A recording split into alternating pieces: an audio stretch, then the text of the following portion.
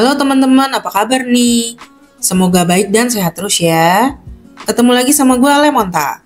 Sebelum mulai, kalau kalian suka sama channel ini, jangan lupa di like, komen, dan subscribe ya. Belakangan ini kayaknya banyak banget kabar buruk ya guys. Mulai dari kabar kawin cerai, sampai kabar orang meninggal dunia karena berbagai sebab. Baru-baru ini kita dapat kabar duka dari dunia hiburan Cina. Salah satu ratu kungfu dari Cina yaitu Cheng Pei Pei meninggal dunia di Amerika Serikat tanggal 17 Juli 2024. Cheng Pei Pei tutup usia di usia 78 tahun, meninggalkan empat orang anak.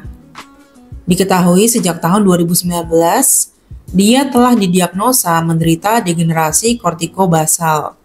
Penyakit langka yang gejalanya mirip sama penyakit Parkinson namun, pengobatan yang ada saat ini belum mampu memperlambat perkembangan penyakitnya. Sehingga Cheng Pei Pei memilih untuk menyumbangkan otaknya ke Brain Support Network untuk penelitian medis.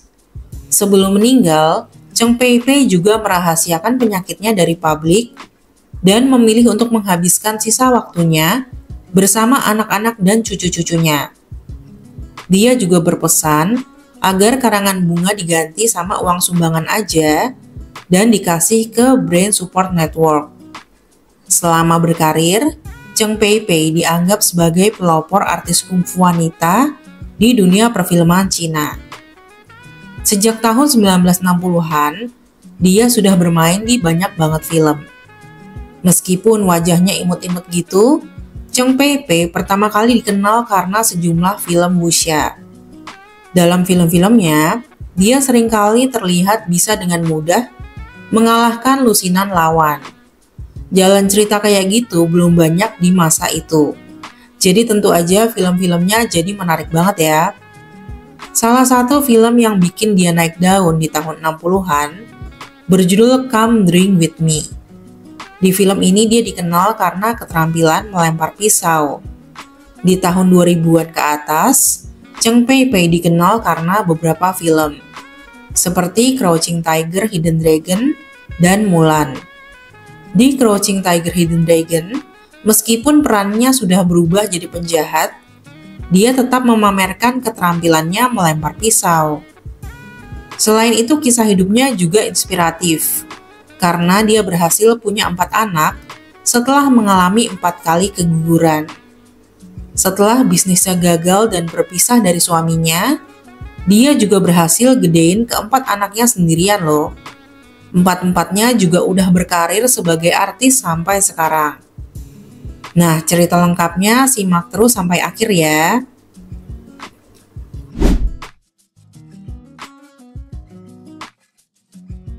Cheng Pei lahir di Shanghai, Cina, tanggal 6 Januari 1946. Dia merupakan anak pertama dari empat bersaudara. Pada awalnya, sang ayah bekerja di unit patroli di Shanghai. Setelah perang selesai, sang ayah membuka pabrik tinta pertama di Cina. Pada awalnya, semuanya berjalan dengan baik. Sayangnya, sang ayah dianggap sebagai pengkhianat, sehingga dia dikirim untuk kerja paksa dan dipenjara di Mongolia. Setelah itu, Cheng Pei Pei sekeluarga gak pernah ketemu ayah mereka lagi. Tentu hal ini menyakitkan banget ya. Sang ibu kemudian bercerai dan mengubah marga keempat anaknya dari Chiang menjadi Cheng. Saat itu adik terakhir Cheng Pei Pei baru aja lahir. Karena situasi di Shanghai sedang bergejolak, sang ibu memutuskan untuk pindah ke Hong Kong. Sang ibu pindah ke Hong Kong dengan membawa ketiga adik Cheng Pei Pei. Sedangkan Cheng Pei Pei tinggal bersama sang pengasuh di Shanghai. Di masa sekolah, Cheng Pei Pei sempat belajar balet selama enam tahun.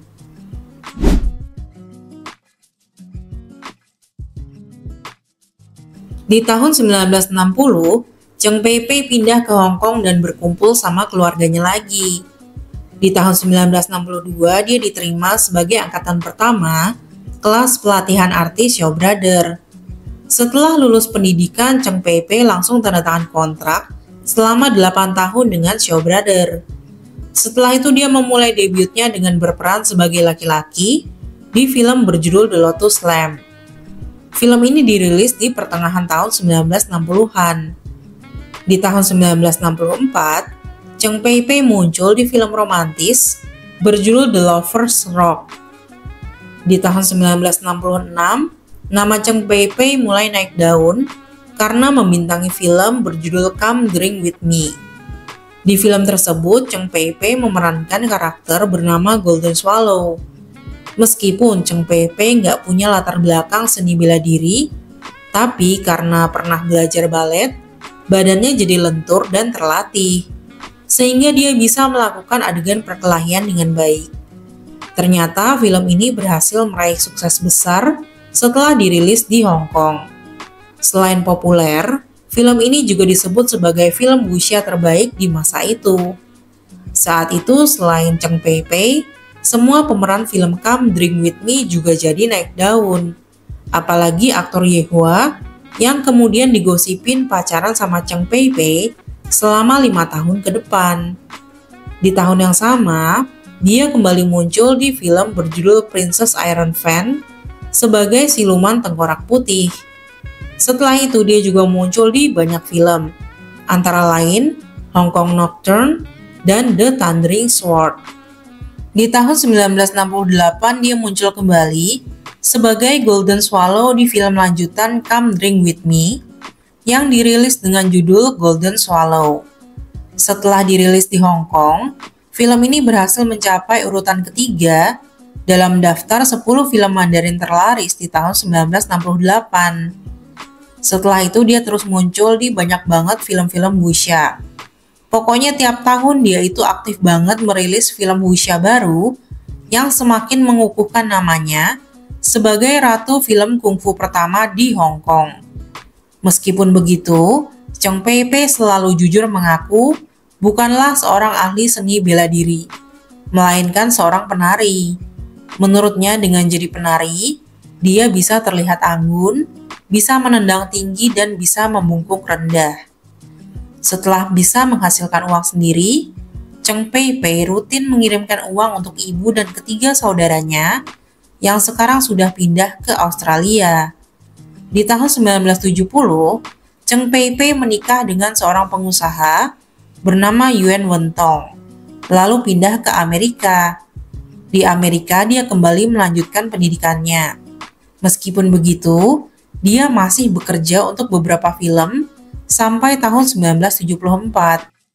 Setelah itu, Cheng Pei Pei berhenti dari dunia hiburan.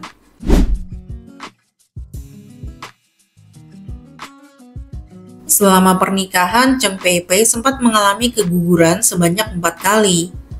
Namun di tahun 1976, dia berhasil melahirkan putri pertamanya, yaitu Eugene Yuan. Gosipnya saat itu Yuan Untong kepingin banget punya anak laki-laki, sehingga Cheng Pei Pei terus hamil sampai dikaruniai dua putri dan satu putra bungsu. Saat ini keempat anaknya udah gede semua, dan mengikuti jejak sang ibu dengan masuk ke dunia hiburan. Menurut gosip yang beredar nih, setelah menikah si Cheng Pei Pei masih suka kirim surat ke Yehua.